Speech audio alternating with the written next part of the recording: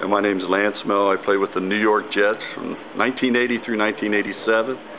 I've had numerous injuries, and uh, especially my knees have really been bad. This is the first time since 1986 that my knee does not hurt. So I'm, I'm, I'm amazed. My neck feels better. My lower back feels better. Amazing.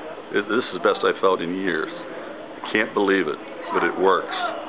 Uh, I can't imagine what it would do for today's players if they could go see him and, and get rid of the pain that quick, how fast they could get back into the game.